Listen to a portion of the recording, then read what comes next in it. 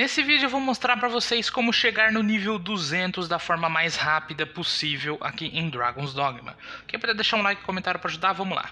É o seguinte, vindo aqui em equipamento, escolha classe uma classe que tenha arco, que você possa comprar flechas explosivas, e você vai precisar dos seguintes equipamentos. Primeiro equipamento é as flechas explosivas que você compra lá em Grand Soren, Rusted Beat Meat que você compra no vendedor aqui mesmo da Bitter Black Island, aquele que fica no comecinho ali na área principal. Ou você pode explorar a Bitter Black Island e conseguir também essas carnes. O que, que você vai fazer? Dentro da Bitter Black, vem aqui para Dusk Moon Tower, tá? E vem aqui até esta porta do meio, beleza? O que, que você vai fazer? Você vai colocar a carne bem aqui na frente da porta, encostado na porta, e você vai spawnar um dos dragões podres.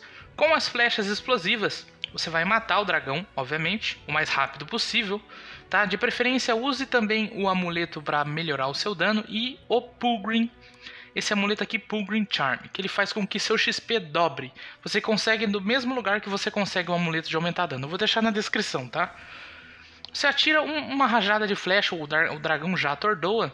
Espera a pata dele sempre abaixar para você atirar as flechas de novo para matar ele bem rápido. Você ganha 257 mil de XP vezes 2, ou seja, dá mais de 500 mil de XP por rodada. O que, que você faz? Você entra aqui na porta e sai de novo. Toda vez que você fizer isso, com uma das carnes, dá para você pegar entre de dois a três dragões com uma carne só, tá? Então isso aqui facilita muito você upar o seu nível. Eu gosto muito desse farm, eu acho ele bem rápido e bem eficiente.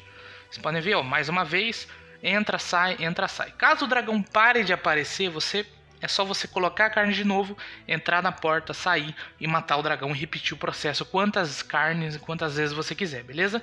Então é isso, pessoal. Tamo junto, até a próxima. Valeu!